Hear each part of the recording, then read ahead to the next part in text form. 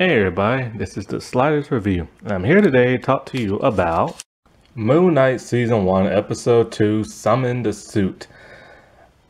This show is boring. Let's just be real for a second. You know what I'm saying? I mean, I know it, you know it. Don't kid yourself. It's interesting, but the intrigue is slightly starting to wear off because it's kind of like, what are you doing, Marvel? What direction are you going in? Why are you chopping up the comic and just like placing things in like weird positions and stuff like that? You know, I have to say, Moon Knight is probably the worst Sailor Moon adaptation I have ever seen. I know what you're saying, huh? Don't worry, I'll get into that a little bit later and towards the end of this video. I'm gonna why Moon Knight is basically just Sailor Moon and stuff just like reworked and different.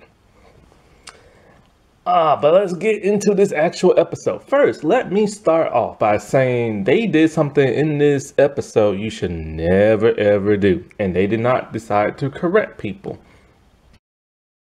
In this episode, we are introduced to Layla, and what does she do? She taps on the side of the fish tank.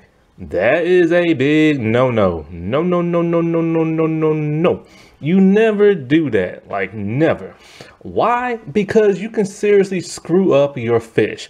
You gotta stop and think about it. It's a giant glass bowl or a tank or whatever, filled with water. That's enough to cause some type of sonic, like vibrational, like distortion, um, like in like the ears, the body, the organ, stuff like that. All right, it's basically like a giant tuning fork and everything.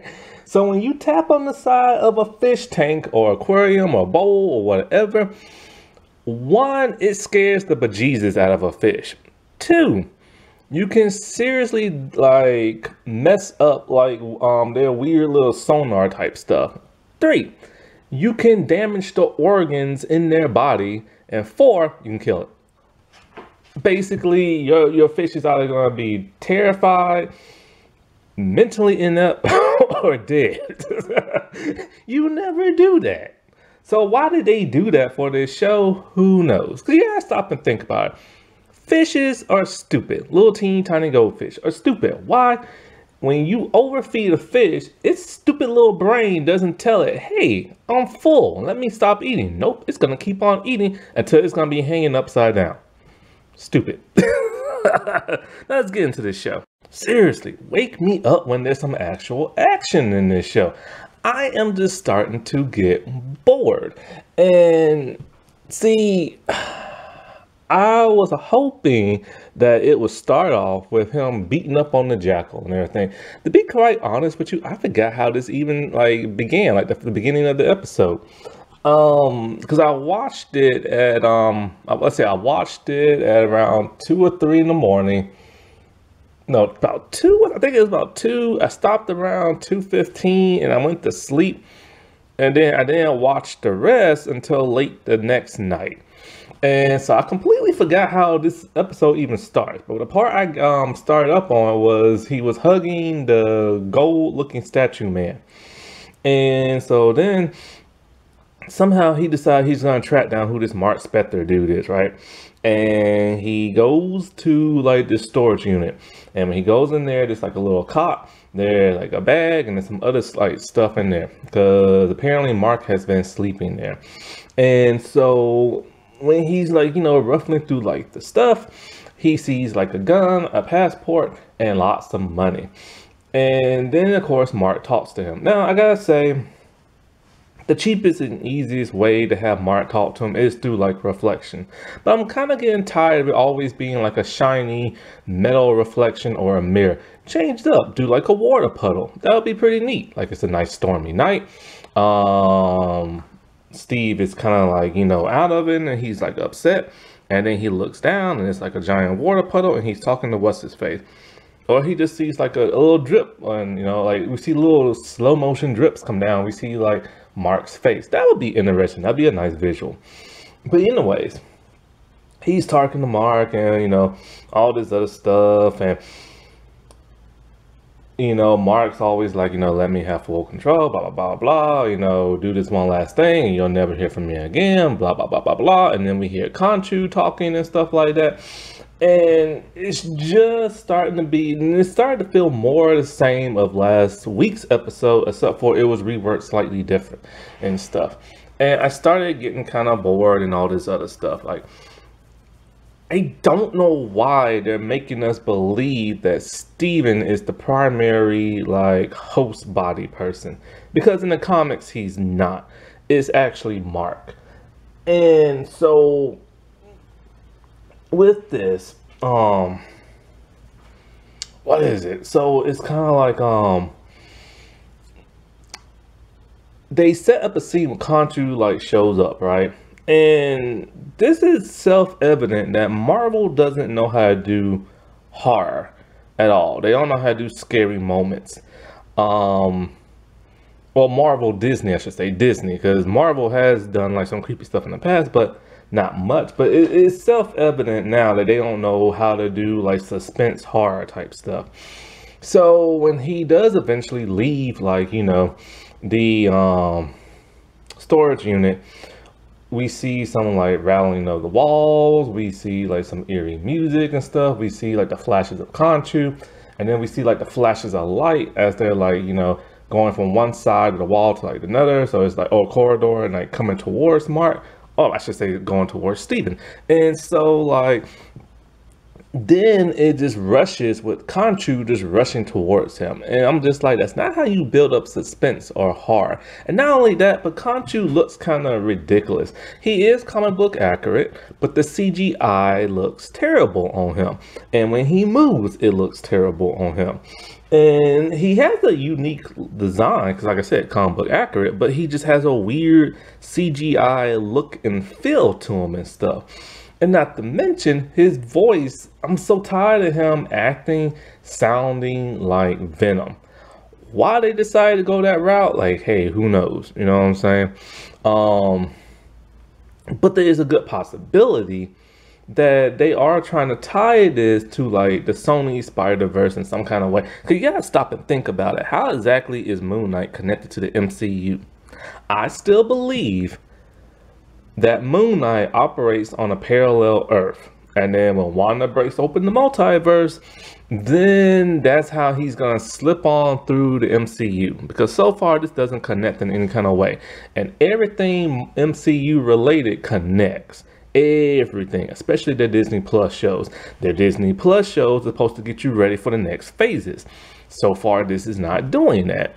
And so I truly believe this is on like a parallel Earth. It, has to be someone some kind of ways. I mean, they they they shoehorned the whole Venom thing in the um, No Way Home, and so like that was kind of like a last minute decision, I believe. And I'm starting to believe that they kind of like, hey, you know, Venom, um, he does this thing. He's goofy. He's silly. He talks in his head. He sounds with a ridiculous voice. Let's do the same thing for this show. So it kind of people get that kind of vibe thinking, hey, is it like connected in some way? And so then when he finally makes his way out, it's kind of weird the way they set it up because they have Khonshu coming towards him. It freaks him out. And then the screen pauses. And I'm thinking to myself, wait, did my internet go out or something like that? No, then it goes to like the next scene when he's running outside. How did he escape that? They didn't even show it. So they're doing that same crap of like the last episode where it starts something and then it, and then it goes like a completely different scene. So the whole pause thing, I'm like, okay, it's pausing, but then what? But then we see him just run out. And then out of nowhere, a woman finds him. And this woman just happens to be very important to both the show and Mark. Um, it's Mark's wife, Layla. and I'm just like, oh, that's a coincidence. I don't like, like she just shows up, and that's that happens to be the first person he meets. I mean, come on now. Now, here's the interesting thing about her. They when they um had her, they acted all mysterious with her. They didn't show her face. She's wearing a helmet. He, um, she's on. He's on the back of like her a motor vehicle, and you don't see her face. And she just keeps talking and talking, and then you see her face in the reflection of a mirror. And then she just keeps talking and talking some more. And then like they'll like go towards her face, but then they'll move away real fast. I'm just like, what's so mysterious about this woman? Nothing. She's just an average woman who happens to be Mark's wife and everything. And so then they finally show her face. And I'm just like, well, what was the whole mystery of that? Like the way they set it up was supposed to be mysterious, but it wasn't mysterious. Um, I mean, the, the, reveal of who she is was mysterious, but you know, we living in the, the, the age of spoilers and stuff. So before this show even came out, people went to Wikipedia and stuff, so they already knew who she was. now, here's the odd thing about her. Um, she is indeed from the comics, Layla is. However, her name is changed. Her name in the comic is Marlene. She's a white lady with red hair. They race bent her because the creator of the show wanted her to be Egyptian. Okay, cool. But why change her name? I mean, she serves the exact same purpose as she does in the comic. Why change her name? And so, like, Marlene, that could sound kind of Egyptian, I guess. I mean, Layla kind of doesn't. so, you know, um, so why change her name and stuff? That's what I don't get.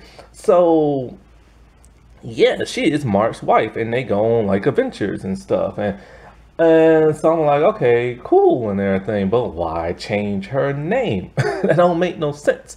And they wanted to make her Egyptian because, see in the comics, Mark is Jewish. Oscar Isaac is not. Let that sink in for a second. So, there's no real Jewish Jewish reference in this show, but there is Egyptian. Why? Because Moon Knight operates under the guidance of a Egyptian moon god. And he operates sometimes out of Egypt itself. So they're like, all right, fine, let's have a lot of Egyptian influences. in The museum, they about to travel to Egypt and all this other stuff, and they got an Egyptian woman. So that is good for representation on that part, but why change her name? So anyways, she's talking and she knows what's his name is Moon Knight. But I don't think she knows necessarily about the different personalities because she seems oblivious to it. And so the Scarab Beetle's in the bag full of money, his passport and guns, and she's rallying to the stuff. And we have Steven, he's just arguing back and forth with Mark until Mark tells him, do not let her go in that bag, it will get her killed. Well, of course she doesn't in a way because she's impulsive. And what happened? He gets a knock at the door. It's these two. It's a woman. He thinks it's because he wrecked the bathroom in the last episode.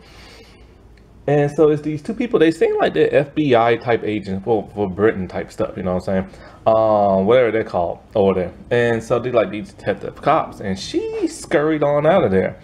And you get the sense that there's something wrong with these two people, especially when they barged into like the room. And so they just act kind of weird and creepy, the detective people are. So they take him. And all of a sudden, um, as they're driving, we see on their wrist, oh, they got that little um, tattoo thing that lets them know that they're part of that evil cult thing. And so they take him to like Ethan Hawke's character. And they have completely redone that character. He's nothing like he is in the comic. Why change that? And so anyway, we know he's evil, but he's talking like, oh, you know, you can't believe Khonshu and everything. Like, you know, he lies and all the other Egyptian gods hate him and everything.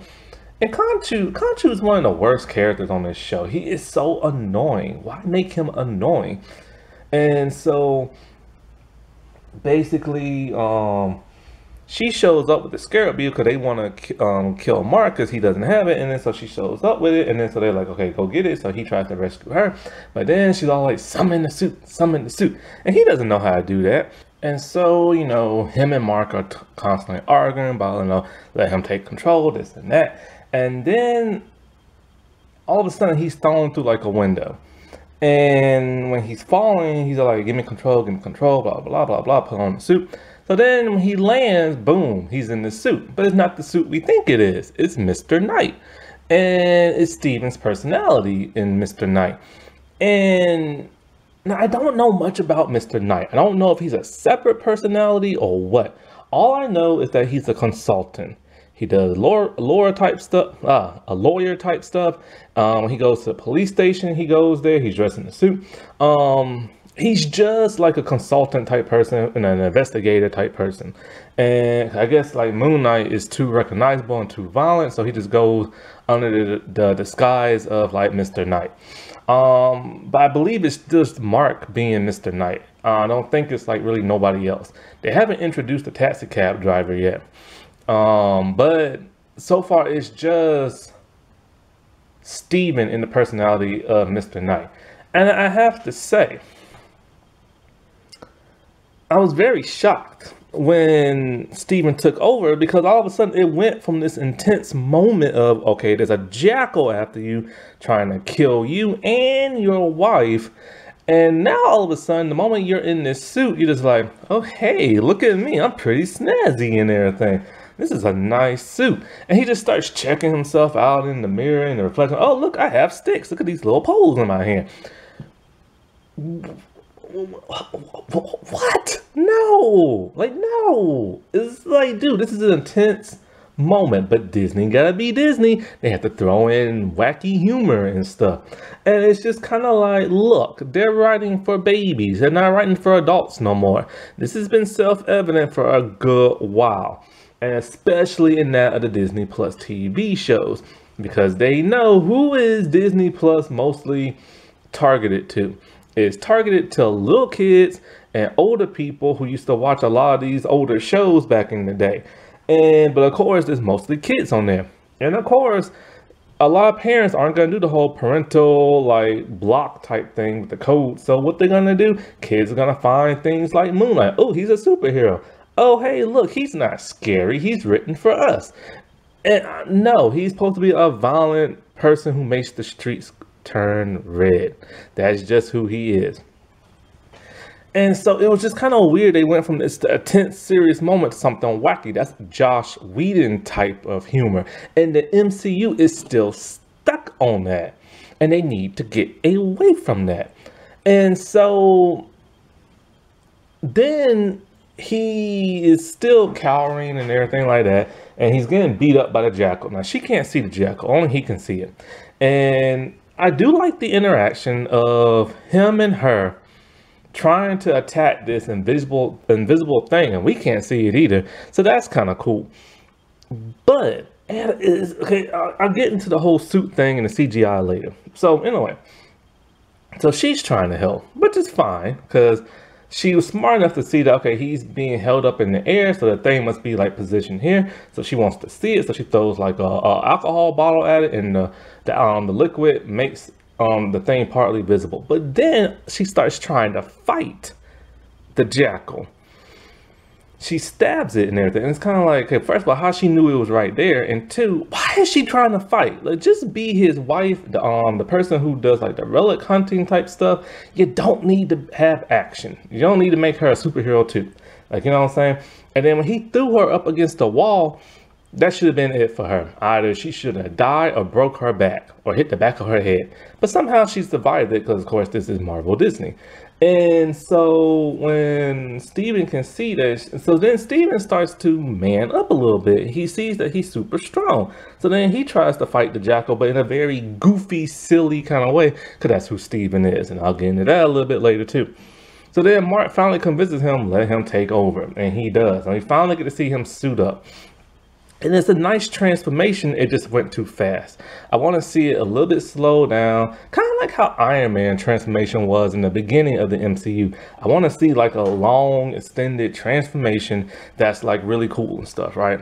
So anyway, Mark tells Steve that we need to take, well, okay, before uh, Mark took over, he tells Steve like, look, man, look around you. All these people going to get hurt that's watching us you need to take this fight elsewhere. So then that's when Mark takes over. And then the thing that pissed me off the most is that then his wife's all like, you need to get away from here and take this fight someplace else. And so he takes off and he's running, doing what she tells him to do. Okay, first of all, he's the one who told Steven that. So if he told Steven, look, these people are going to get hurt, we need to get away from here, why does she need to be the one to tell him for him to actually do it? And that just bugged me. It just made him just seem like ignorant and stupid. And so it's just a chase sequence. The jackal is chasing him. And basically what you saw in the trailer is what you see here as far as action and everything. He uses his little moon throwing things, and that's kind of cool, but you know, and stuff like that. But anyway, he eventually defeats the Jackal because he pierces it on like a very sharp building and kills it, and then it turns to ash. Now, let me get into the suit real fast. I've complained about this in the last episode. The CGI looks terrible on it. Period. Like, I don't understand. Okay, first thing I don't understand if Mark is supposed to be the violent one who beat the snot out of people in the last episode and killing stuff left and right, why did he just let this thing chase him? When he took it far away from the people, why didn't he beat the snot out of it like he did in the last episode? Where's that violent streak at? It apparently has went away because Disney didn't want to show violence. No, they wanted to make this kid friendly because they're writing for babies and everything. And so I would have loved to see an actual real action sequence. All I saw was a chase sequence and him just impaling something on something spiky and sharp. And that's just not good enough for me. Now let's get back to the suit when he caught the moon moonerang, I guess you could call him, that was a nice practical shot. You know, but the suit, every time he's in that suit and he moves, it's CGI. And it's becoming more and more apparent that the CGI was rushed. And it just looks sloppy and everything. It looks like a cheap video game from back in the early 2000s or mid 2000s. And it's just not nice looking. Like the suit is supposed to be the coolest aspect of this show, and yet it just looks like CGI goopity goop. And not only does it look like CGI goopity goop, but so does the jackal. There is a reason why the jackal is always at night. There's a reason why the jackal is always shown from a faraway distance. When you actually take like a screen grab of it, it looks terrible. Now, the actual design is kind of horrifying and it would be scary. It's just the CGI is lame. The CGI is cheap. The CGI is rushed. And I'm just stopping. I think to myself, if you don't have the proper money to do this, you need to go a different route. You need to just go a practical route or something. I get you want to make them all bony, skinny looking, but that's not working. It's just not working. And this looks terrible. And people working on this should be embarrassed. Kevin Feige should be embarrassed. Disney should be embarrassed. Marvel should be embarrassed. And it's just kind of like because they don't care. They just wanted to make this like new superhero because a lot of people been asking for him ever since the MCU got started and stuff, and they know how popular he is amongst the fans. And but fans always assume he would never show up, and now he's here, and it's just kind of like you're not even giving us Moon Knight. Moon Knight has barely shown up in the first two episodes.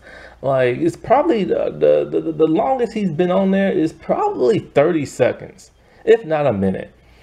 And that's kind of embarrassing. And so like they should just call the show Steven Grant. you know what I'm saying? And but anyways, he defeats the thing and the bad guy gets his hands on the scarab okay just so happily to conveniently fall down where like you know he could find or somebody else could find it he could find that person. Now layla when she saw that what's his face had it why didn't she just run over him with the motor scooter? Boom. Take him out. You know? But then we have Khonshu constantly teasing and goating like Steven and stuff talking about, oh, you know, oh no, he's Goldie Mark this time talking about like, oh, do as I say, or I'll find like another candidate in the form of your wife and everything, and blah blah blah blah. And so, anyways, Steve wakes up.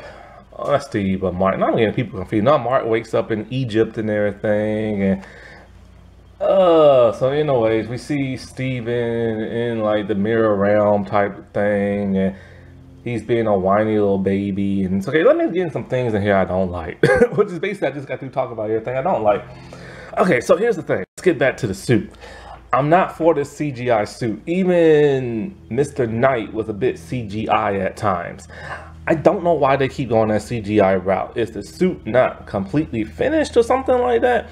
Or is it just to the point where parts of it are like not finished and they have to like CGI it in? I don't understand that. Now let's look at Moon, uh, Mr. Knight face. There's two pictures here. The one with the glowing eyes is the one we saw on the show. The one where you can see his eyes are the one from like a promotional picture. Which one looks more intimidating to you? The one on the right with the ones you can see the eyes. And that looks so much better than the glowing eyes. The whole glowing eye technique is not working for Moon Knight or Mr. Knight.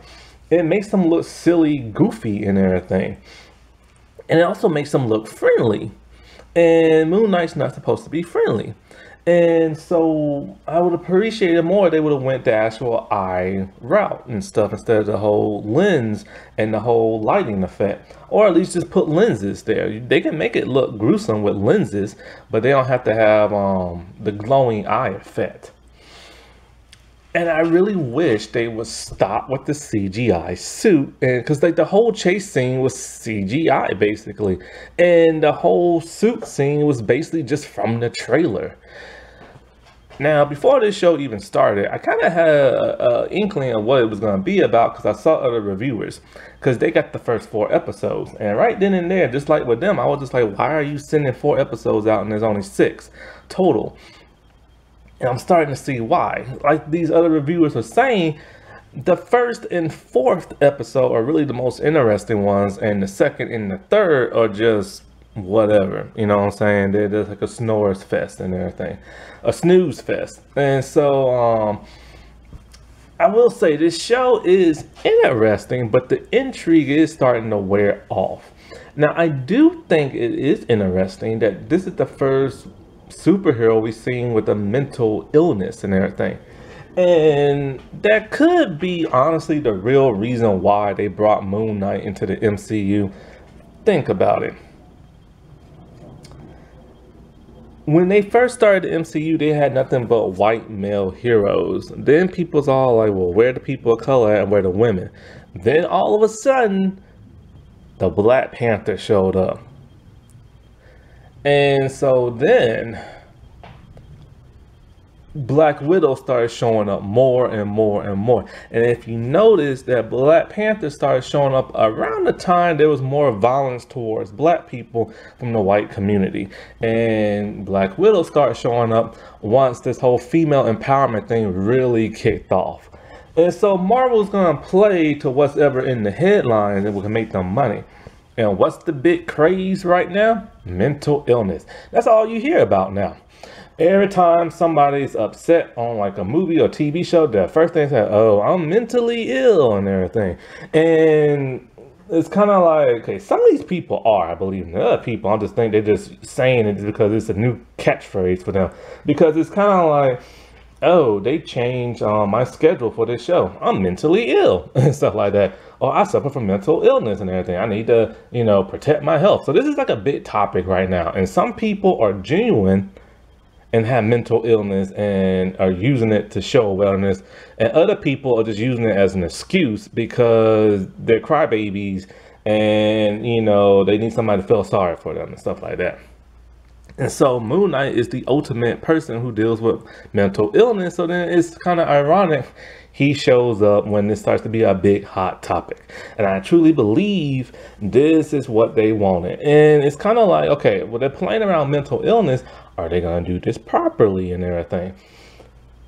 So far, I just don't know. Well, I'm not a psychiatrist, and, I, I honestly don't know because so far everything's played for like laughs and giggles and everything. Now let's get into um the intrigue wearing off. The big question is why? Why all this happening? Why is it happening to Steven? And so it makes you intrigued and makes you want to know, hey, what's going on? And you kind of want to stay tuned in because you want to know where all this is going to lead. Now, I think this would have been better if you could binge this show instead of doing a weekly. Now, weekly thing is good for the anticipation, but the anticipation is starting to wear off for a lot of people. Also, these first two episodes, when you start thinking Moon Knight, it doesn't even feel like a TV show. It feels like a movie. Like I could totally see this being a two hour long movie and stuff with little to no action. Now, the little to no action, I want action, period. That's all I want. But you can get away with not having action. If your story is so compelling and so emotional and dramatizing, then you can get away with having like a minute of action and stuff. This show is not doing that because it's just a goofy show, a goofy, interesting show with generic characters, a generic villain who just wants to take over the world, and a generic love interest who just wants to help out. And so my thing with this is like Steven himself is another problem I'm having. Okay, in the comic books, Moon Knight is a combination of Batman, the Punisher, and the Spectre from DC. He has the look of the Spectre. He has the um, crime fighting and gadget abilities of Batman, and he has the brutality of that of the Punisher. However, for this show, like I told you before, they're writing it for babies. I guess things started getting a little dark and a little too political in like the um, MCU. So they're like, okay, we gotta like water this down. You know, I guess Thanos snapping half of existence out, um, half of life out of the existence was a little too much for the little kids. you know what I'm saying? And then the Winter, um, the, the Falcon and Winter Soldier went completely political and stuff. And so I guess they wanted to like water it down, and we've been seeing that water down effect with every other project that came out. Hawkeye was very charming, but Hawkeye should have been a little bit more intense than that. So now we have Moon Knight, and Moon Knight is literally the worst Sailor Moon adaptation ever. Now I know what you're saying. Man, you're drunk. Well, I assure you, I've never drank the day in my life. But let me just explain something right here, right now. I see Steven Grant as Usagi, as Sailor Moon, as Serena, as Princess Serenity, Queen Serenity, whatever you want to call her. He's her, in a nutshell. Period. Why? Well, okay. Steven was the okay. Moon Knight never got a proper origin story so far in this show. We are introduced to Steven, a very likable man. He's the everyday average man who has this weird feeling that he's doing things at night when he's sleeping. So he ties himself to a bed. He thinks he has a sleeping disorder. But then when he starts talking to people, it seems that, wait, is he sleepwalking and interacting with people? Or does he have multiple personality syndrome? And so they're taking a very realistic person and put him in a comic book setting. And so far, when everything starts to like happen in his life, he is a nervous wreck. So much that he is a silly, goofy, nervous wreck. And that's where all the comedy and comedic stuff comes in. And lately, it's starting to go a little bit over the top now. He's too expressionate. Like, he's too jumpy. He's too skittish and everything. And not only that, but he whines and complains a lot natural, but he's doing it too much now to where it's getting annoying. Because he's made to look like a sympathetic character. We supposed to feel sorry for him because he didn't ask for all this. He thinks he's real and everything. And the question is, is he real? Did Marvel pull a switcheroo? Did they make Mark the um personality, the multiple personality, and is Steven the main host?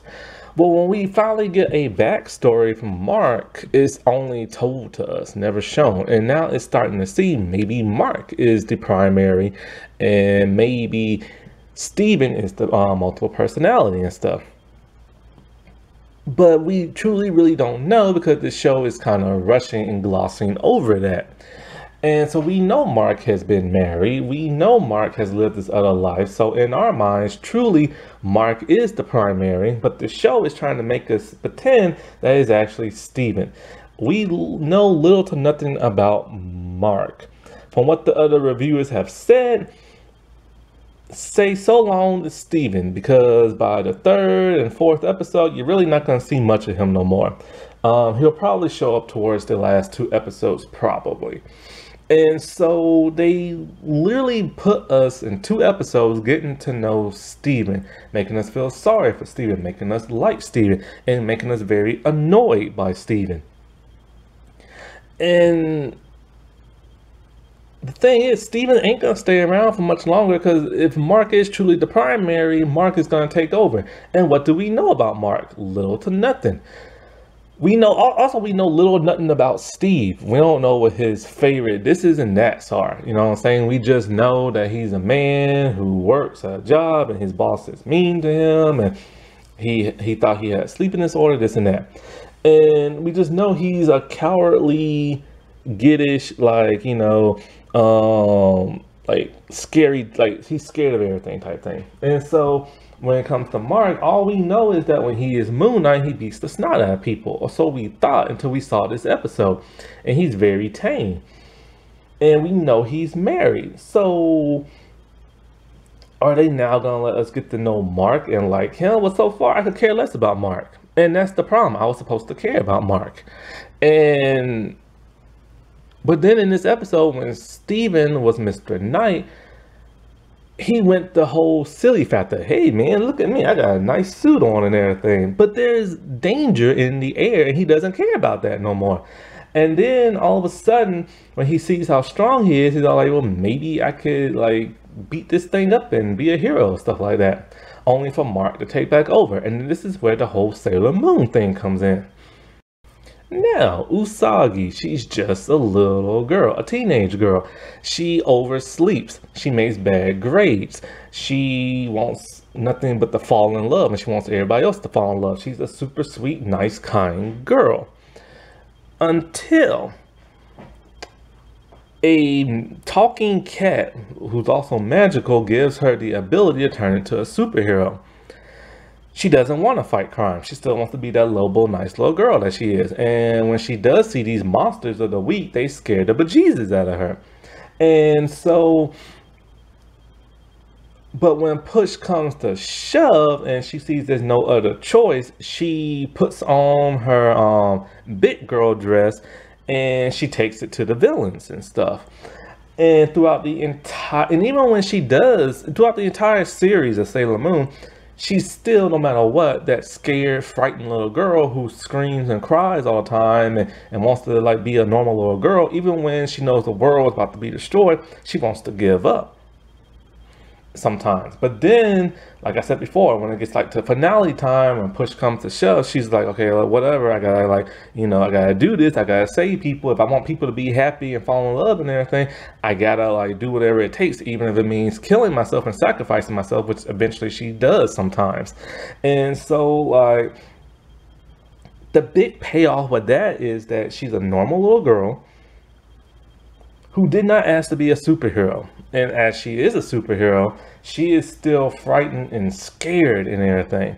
But she knows she has to do the right thing and she defeats whatever bad person that is that, that season. That is the big payoff right there.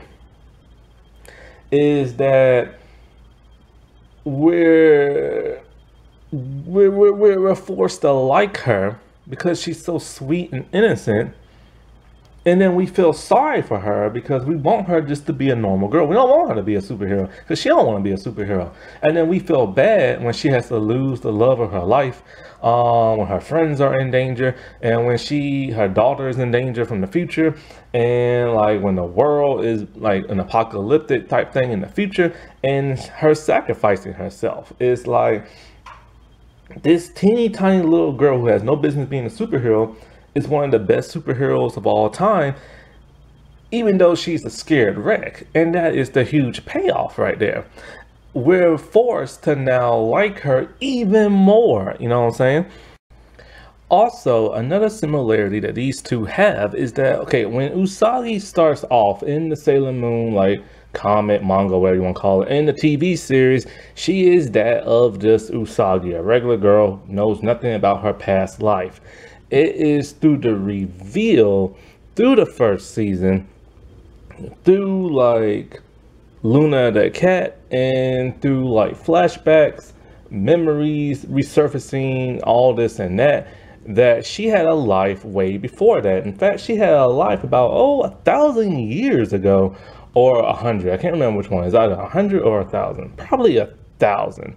And so, like, she lived on the moon. She was a princess.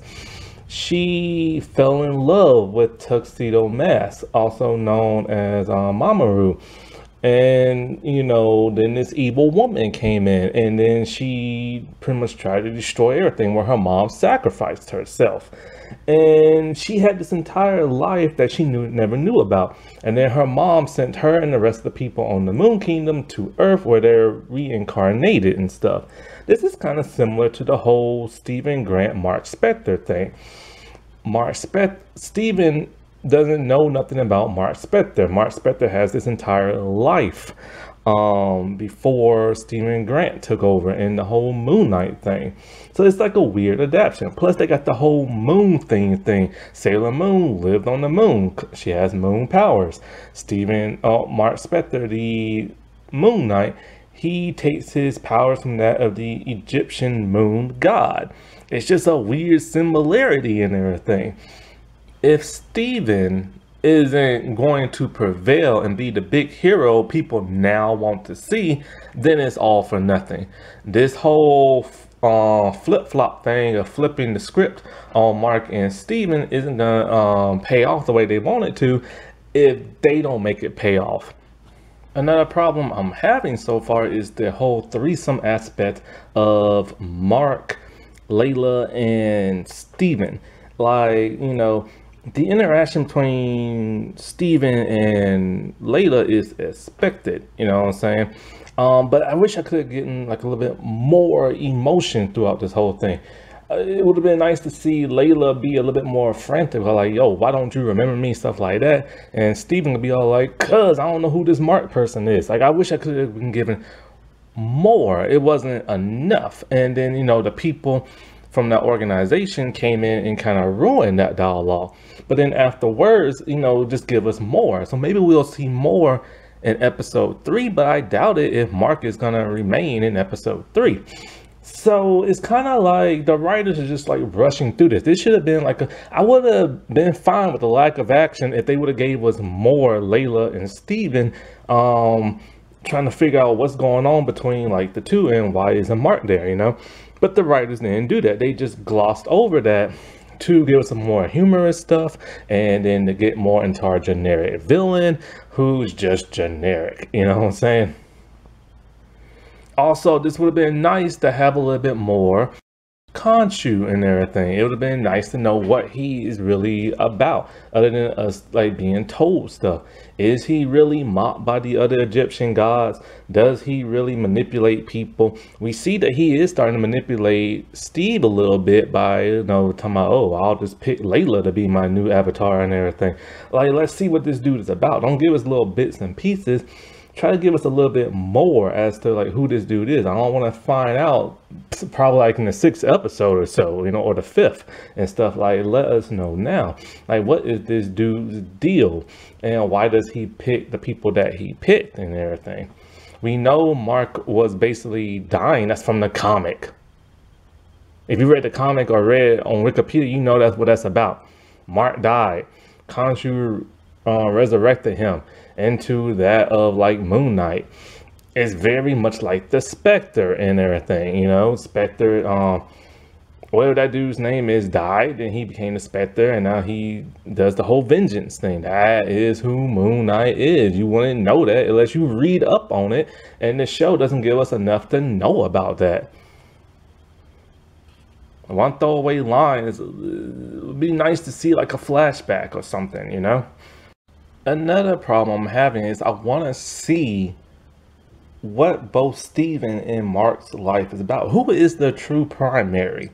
I'm pretty sure it is Mark, but by the way they're making it seem on the show, it could very well just be Steven.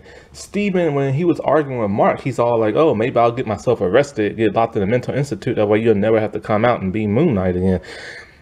He even says that, you know, he has a life and memories. What life and memories is that? Let's see what that's about when it comes to that. Steven, does he remember what he was like growing up? Does he remember who his parents are? In the comics, the reason why Steven was created, something has to do with Mark when he was a child, and something something about bullies or something like that. I can't really remember. And that's how the whole Steven persona came about. So well, let's see what the deal is with like this Steven. Let's have some flashbacks. Um, let's if Mark is the primary, let's see what his life was like back in the day, uh, especially with him and his wife. Like I hope that gets explored in the third episode. It would have been nice to explore that in the second episode, you know. Because I mean, if they wasn't gonna give us a real action sequence in the second to keep us like um, gripped in, then they could at least explain with that or something. So since the intrigue is wearing off for me, I could honestly care less about what happens to Steven. I could care less about what happened to Mark because Mark is not an interesting person. And I could care less about Layla because she just now got introduced in the second episode and she's just generic. I could care less about the villain. I could care less about any of these people. I could care less about how they're introduced into the MCU. And this is quite a shame because out of all the MCU Disney Plus stuff, Falcon and the Winter Soldier, Hawkeye, and now Moon Knight was the, the biggest ones I was looking forward to, and they're kind of falling flat and just being a dud. Like Falcon Winter Soldier started off strong, but then it went a completely different route in like the other episodes, starting with the second episode. And it's all like, what was the point in setting all that stuff up in the first episode if you're just gonna go in a completely left field and everything? And then there's Hawkeye. I thought that was gonna be like a cool action-packed show, and it was just like an like a charming holiday special type thing, you know? And you know, I liked WandaVision, but because you know the whole references to like the older shows but then after a while it just kind of like well where is this going man? But then like oh wow, that's a huge twist. Didn't see that coming. And you know now there's moon knight and it's just kind of like i don't care. And i liked moon knight because of all the pictures in the comics and stuff because he looks awesome and stuff. And he seemed really intriguing with the whole multiple personality things and because see, he uses his multiple personalities to help him operate in the field. It's not just this whole mental illness thing of him thinking, you know, he doesn't even know about the other personalities and stuff. Like he does actually know about them. And it, they trying to make this into some big movie, cinematic, like mentally awareness, like type thing. And I don't know. I think they're just falling flat. And I'm very bored. I need action in this show because the drama in it isn't enough you know, and now he's going to Egypt and everything, and it's kind of like, uh, I don't know, man. This show's just kind of boring and everything. I could honestly care less about it. And so I just don't feel like waking up until probably like the sixth episode because we know in the sixth episode something's good probably gonna happen. I mean, why would they drop four episodes to reviewers to review early and there's only six in the entire run of the show. That made absolutely no sense unless they knew they was in trouble and they are in trouble. The CGI does not look that great. The story is rushed. Um, people are confused, you know, and people are disappointed. Alrighty, well, I'll talk to y'all later. Bye.